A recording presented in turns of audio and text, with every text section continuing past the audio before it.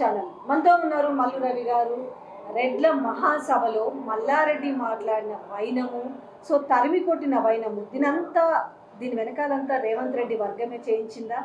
So ఈ విషయాలన్నింటి మనతో క్లారిటీ ఇవ్వడానికి మల్లు రవి గారు. సార్ నమస్తే సార్. ఏదో మల్లారెడ్డి పోయి రెడ్ల మహాసభలో మాట్లాడుతుంటే రేవంత్ రెడ్డి వర్గం ఇట్లా చేయడం మంచిగుందా? మల్లారెడ్డి గారి స్వయం కృతాపరాధం.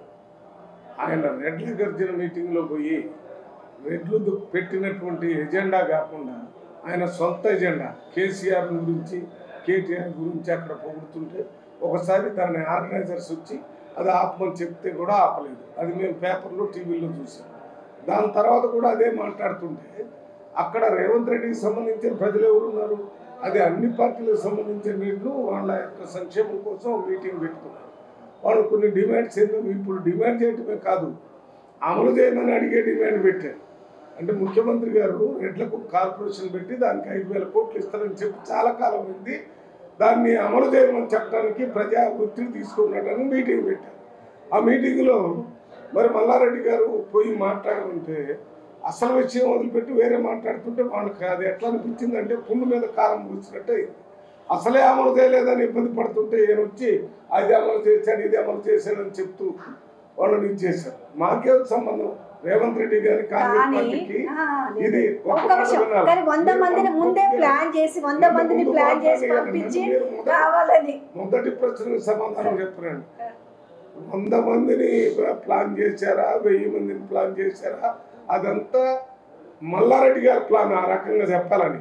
ఆయన చేసినటువంటి తప్పును కప్పిపుచ్చుకోవడానికి రేవంత్ రెడ్డి గారు ఏదో చేసిన మీద కొట్టించాడు నేనేం తప్పు చేయలేదు అంటాడు.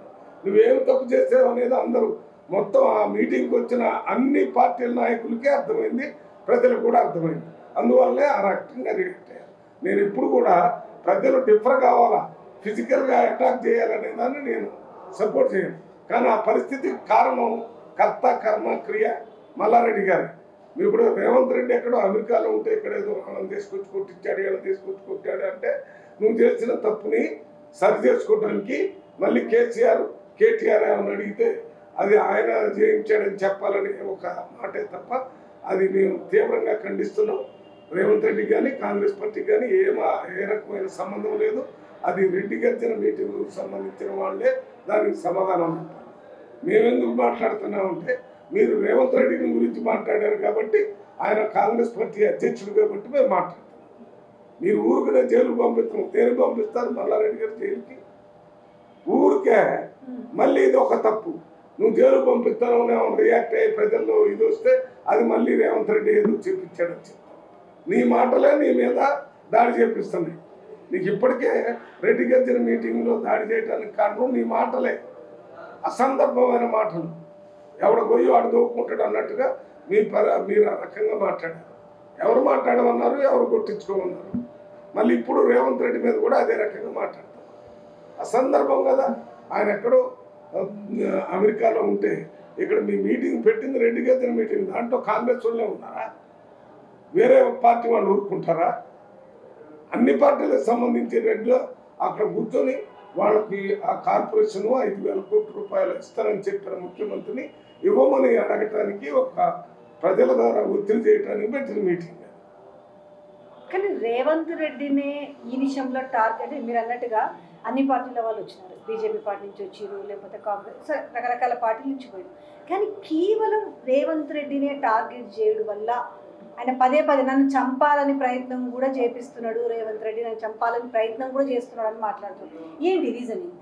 కొన్ని మాటలు మాట్లాడి కాంగ్రెస్ పార్టీకి రేవంత్ రెడ్డికి నష్టం కలిగించాలని ఈ మధ్య కాలంలో వరంగల్లో రైతు డిక్లరేషన్ అని వరంగల్ రైతు డిక్లరేషన్ అటు వచ్చింది. దాని తర్వాత కాంగ్రెస్ పార్టీ రైతులకి ఒక భరోసా కల్పించే స్థితికి రేవంత్ రెడ్డి తీసుకొని వచ్చాడు. అందువల్ల రేవంత్ రెడ్డికి కాంగ్రెస్ పార్టీకి కాంగ్రెస్ పార్టీకి రేవంత్ రెడ్డికి లాభం జరిగే పరిస్థితి ఉంది కాబట్టి దాన్ని ప్రజల్లో పలసం చేయడానికి రేవంత్ రెడ్డి ఎందుకు నిన్ను చంపిస్తారు మీరే మాట్లాడుతున్నారు. దానికి కారణం ఏంటో చెప్పండి. ఊరికనే జైలు పంపిస్తాను నన్ను చంపిస్తాను అంటున్నాడు. నీకేమి మీ ప్రభుత్వం మీ చేతిలో ఉంది. మీ దగ్గర అన్ని సెక్యూరిటీ పెట్టుకోవలసినంత బలగం అంత పోలీసు బలగం మీ దగ్గర ఉంది. ఎవరెందుకు చదివిస్తారు ఊరికే ఒక వ్యక్తిగతంగా రేవంత్ రెడ్డి క్యారెక్టర్ని దెబ్బతీస్తే ఆ రకంగా కాంగ్రెస్ పార్టీకి నష్టం జరిగింది ఆ రకంగా టీఆర్ఎస్ పార్టీకి లాభం జరిగింది అనేటటువంటి ఈ మాటలే తప్ప దీంట్లో వాస్తవం లేదు. ఈ రకంగానే మాట్లాడ మాట్లాడుతూ పోతే భారీ మూల్యం చెల్లించాల్సి ఉంటుంది. ఇంకొక విషయము. సో సబ్జెక్టు దాదాపు వారం రోజుల క్రితం అయినప్పటికీ కూడా మీకు కొంచెం మైనస్ అవుతుందేమో అనేసి చాలా మంది మాట్లాడుకుంటున్నారు. కొంచెం ఏంది చాలా.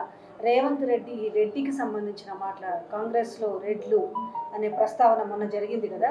దీనిపైన మిగతా వర్గాలంతా కూడా చాలా గుర్రుగా ఉన్నాయి. మిగతా వర్గాలు దూరమయ్యే ప్రమాదం ఉందనేది రోజు చర్చలు జరుగుతున్నాయి. దీనిపైన మీరే స్పష్టంగా చెప్పాలి. మొన్న రేవంత్ రెడ్డి గారు అక్కడ పోయింది కూడా అది రెడ్డి సామాజిక వర్గం సోషల్ జస్టిస్ వాళ్ళకి కావాలని కర్ణాటక రాష్ట్రం వాళ్ళు పెట్టినటువంటి మీటింగ్ పోయారు. ఆ మీటింగ్లో ఆ ఎజెండాను మాట్లాడొచ్చాడు అక్కడ ఎస్సీల గురించి బీసీల గురించి ఎస్టీల గురించి ఎవరికి వ్యతిరేకంగా కానీ కించపరిచే విధంగా మాట్లాడాల? రెడ్లు వ్యవసాయదారులు ఆ వ్యవసాయాన్ని వదిలిపెట్టద్దు. మీరు వదిలిపెడితే ఈ పంటలు పండవు ప్రజలకి తిండి దొరకదు. అదే రకంగా మీరు మొదటి నుంచి రాజకీయాల్లో ఉన్నారు. ఆ రాజకీయాలు చేస్తూ మీరు కొంత పండించి నలుగురికి ఉపయోగపడే విధంగా ఉండాలని చెప్పాడు. అది పాజిటివ్గా మాట్లాడాడు. అంతే తప్ప ఎవరికి నెగిటివ్గా మాట్లాడలేదు. దాని తర్వాత ఆయన ఒక ట్వీట్ సమాధానం కూడా చెప్పాడు. Congress party SC ST BC minority social జస్టిస్కి ఎట్లా కట్టుబడి ఉందో అదే నా తత్వం నా ఆలోచన నేను దానికే కట్టుబడి ఉంటాను అని చెప్పి చెప్పాడు. మరి అక్కడ పోయినప్పుడు వాళ్ళు అడిగిన దానికి వాళ్ళ ఎజెండాకి ఆ రకంగా మాట్లాడాడు. అంతేగాని ఎవరిని కించపరచాల ఆలోచన లేదు. ఆ రకంగా చేయడానికి చెప్పడానికి కూడా కానీ మీ పార్టీ నుంచే వ్యతిరేకత వచ్చింది కదా. ఇద్దరు మాట్లాడిన వ్యక్తులు అటు మహేశ్వర్ రెడ్డి కావచ్చు ఇటు అక్కడ నుండి మది వైష్కి బహిరంగ లేఖ రాసిన వైనం కూడా ఉంది కదా. సో మీకు అర్థమైనట్టు వాళ్ళకి అర్థం కాలేదా మరి విషయం? మధు యాష్కి గారు రేవంత్ రెడ్డి గారు ఆ విషయం మీద అవగాహనకు వచ్చారు. అర్థం చేసుకుని అమెరికాలో ఎవరో శోభ అని ఒక ఆమె టీఆర్ఎస్ నుంచి ఇప్పుడు కాంగ్రెస్ పార్టీలో చేరితే అక్కడ చేర్చుకున్నారు వీళ్ళిద్దరు. అంటే వాళ్ళిద్దరు కలిసి అమెరికాలో తిరుగుతున్నారు. ఆ సందర్భంగా ఆయనకు వచ్చినటువంటి ఆలోచన దానికి తెలియజేశాడు దానికి సమాధానం రేవంత్ రెడ్డి గారు చెప్పారు. మహేశ్వర్ రెడ్డి గారు కూడా అదే సమాధానం చెప్పారు. అది అయిపోయింది. నేను ఎప్పుడో చెప్పా. అది టీ కప్పులో తుఫాన్ లాంటిది. జనరల్గా ప- ఇతర పార్టీ వాళ్ళు ఇదేదో పెద్ద ఇది జరగబోతుందని అనుకోవడం తప్పది. ఇది కాంగ్రెస్ పార్టీ. కాంగ్రెస్ పార్టీలో వ్యక్తులు అభిప్రాయాలు ఎప్పుడు కూడా పార్టీ మూల సిద్ధాంతానికి వ్యతిరేకంగా ఉండకూడదు. కాంగ్రెస్ పార్టీ మూల సిద్ధాంతం ఉన్న రాజస్థాన్లో జరిగిన చింతన్ శిబిర్లో కూడా మనం సోషల్ జస్టిస్ యాభై పర్సెంట్ సీట్లు ఆ రకంగా ఇవ్వాలని కూడా మాట్లాడారు. ఆ మీటింగ్లో రేవంత్ రెడ్డి గారు చివరిగా ఒక ప్రశ్న. సో పంజాబ్లో సిద్ధు సింగర్ సిద్ధు హత్యకు సంబంధించి ఏం చెప్తారు? సింగర్ సిద్ధు ఆయనకు ఒక సెక్యూరిటీని ఏర్పాటు చేశారు. ఆ ముఖ్యమంత్రి గారు నూట యాభై మందికి ఒకేసారి తీసేశారు. అందులో ఈ సిద్ధు కూడా తీసేశారు. తీసేసిన రెండో రోజే బహిరంగంగా చేసి చెప్పారు. ఇప్పుడు ఏ పార్టీ అయినా అధికారంలోకి రావచ్చు. కానీ రాజకీయ నాయకులు అనేక పార్టీల్లో ఉండి చాలా థ్రెట్స్ గురవుతున్న పరిస్థితుల్లో వాటిని రక్షించాల్సిన బాధ్యత ప్రభుత్వంగా ముఖ్యమంత్రి మీద ఉంది. ఇది ఆ ముఖ్యమంత్రి బాధ్యత వహించాల్సిన పరిస్థితి. మీరు దాని మీద ఒక ఇంటెలిజెన్స్ రిపోర్ట్ తెప్పించుకొని ఉంచాలా తీయాలనేది కాకుండా ఒకేసారి ఇంతమంది నేను తీసేసాను నేను తీసేసాను అంటే ఏం జరుగుతుందమ్మా? సో ఆప్ మీదనే మీకు అనుమానం అంటారు ఓవరాల్గా అంటే ఆపే కదా చేసింది బరాబర్ ఆపే కావాల్సిన ముఖ్యమంత్రి గారు తీసే మళ్ళీ బరాబర్ కాదు అందుట్లో ఏమన్నా కాంగ్రెస్ పార్టీ కానీ అక్కడ బీజేపీ కానీ అక్కడ ఉన్నటువంటి ఇతర పార్టీలు ఏమన్నా తీసేసింది అది కాదు కదా.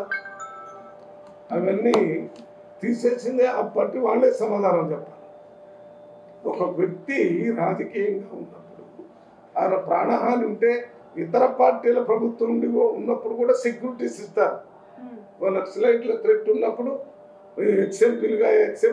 పోలీసుల విచారణలో ఏమంటున్నారంటే ఒక గ్యాంగ్ వార్కి సంబంధించి ఆయనకు అవన్నీ కూడా ఇంట్రెస్ట్ ఉంటుంది ముందు ఒక గ్యాంగ్ వార్లోనే ఇది జరిగింది అనేది. మా గ్యాంగ్ వారు కానీ పర్సనల్ వారు కానీ ఏ వారాన్ని కానీ సెక్యూరిటీ ఉంటే ఏది కాదు కదా. సెక్యూరిటీ ఇచ్చింది దాని గురించే కదా. ఆయన మీద దాడి జరిగింది అనేదే కదా. తెలిసి మీరు ఎందుకు విత్డ్రా చేశారు?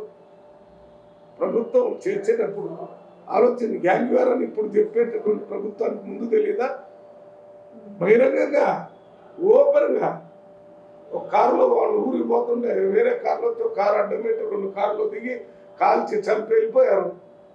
ఏం చేశారు మరి?